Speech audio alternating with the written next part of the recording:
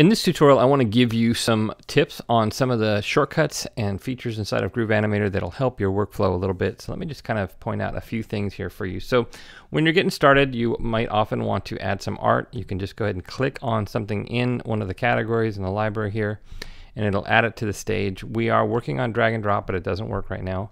However, drag and drop does work if you drag something from your computer onto the stage, like an SVG file. Um, and you can do that directly. I'm not going to show that, but that is something that uh, I uh, just wanted to make a note of that. Now on the timeline here, you can see here that I've got this uh, animation already applied. I'll talk about more of that in a second.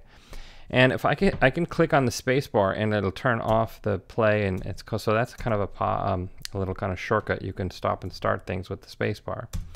The uh, let's go. Okay, so let's apply some animation now. So see here that i am over here on the animation tab and there's a bunch of different animations and I've already got this one. It's animating multicolor. It's set to appear, which basically means it doesn't fade in or fade out or draw in or draw out. And I've got this color palette. So let's actually, let me show you a, a little shortcut here to apply a different color palette. So I'm holding down the control key. You can also do the right key and or on a Macintosh, you can do kind of a two finger on your trackpad and um, I'm holding down the control key. It's a little bit easier for me. I'm used to that. And it emulates a right click. And um, so I'm going to go ahead and select all four colors at once so I can click. You know, I don't have to click on each color ind individually if I don't want to. So there's a shortcut for that. And then now uh, when I want to apply the animation, we have a Groove It button over here and I can apply it that way. Or I can come here and let me go ahead and change this to a different animation and change it to a different color palette so we see the difference. And this time I'm going to click on, hold down the shift key and hit the space bar. And that's gonna, that's gonna work the same as the Groove It button. So it'll apply that animation to the selected art.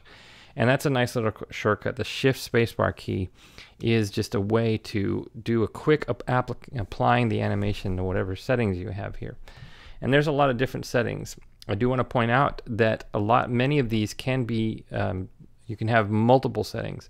Now you can't have a draw in a stroke animation at the same time you have a dash animation, but you can have something like a stroke animation and say a fade animation or a zoom animation. So some of these can be combined and in other tutorials I'll show you how you can also kind of combine them on the timeline by adding blocks and then kind of overlapping the blocks with something like a fade and everything like that. So there's a lot of built-in user-oriented things like this. I just wanted to give you this kind of first look at some and just to, you know to help your workflow. Um, you you will find that you're adding animations a lot and it's very handy to have that uh, space uh, I'm sorry the shift spacebar shortcut and you'll be finding that you're wanting to preview you know here on the timeline a lot so it's nice to know that spacebar uh, option there. And then finally I find that I'm deleting things on the stage quite a bit so it's very nice to be able to just go ahead and delete all. One final tip here is let's say that you have a lot of art here on the stage and you want to just kind of start fresh you can do the remove all and that's going to start you all fresh. So thanks a lot for checking this out and check out some of the other videos on how to get more out of Groove Animator